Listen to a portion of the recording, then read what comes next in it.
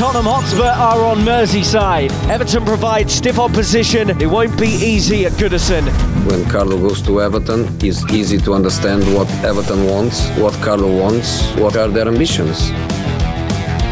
There's just one point between themselves and Everton in the league currently. And Dele Alli is bearing down on goal here.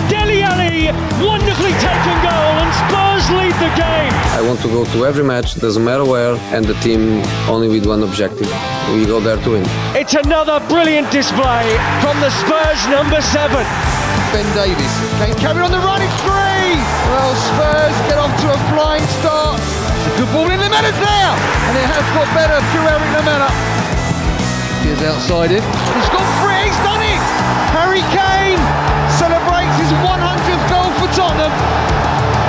It's been a tough season in terms of many games in a short time of space, but uh, everybody's keeping fit and really pushing to, to show themselves and to, to help the team. Came round the corner.